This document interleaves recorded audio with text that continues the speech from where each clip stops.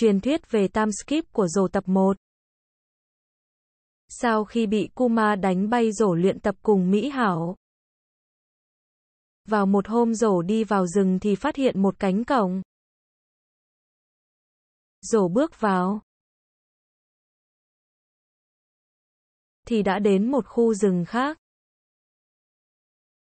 Đi một lúc thì rổ gặp một người mặc áo caro.